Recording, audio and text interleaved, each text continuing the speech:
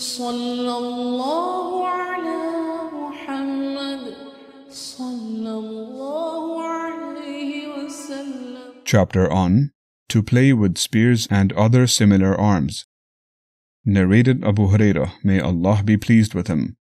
While some Ethiopians were playing in the presence of the Prophet, peace be upon him, Umar came in, picked up a stone, and hit them with it.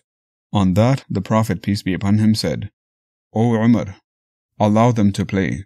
Ma'mar, the sub-narrator, added that they were playing in the mosque.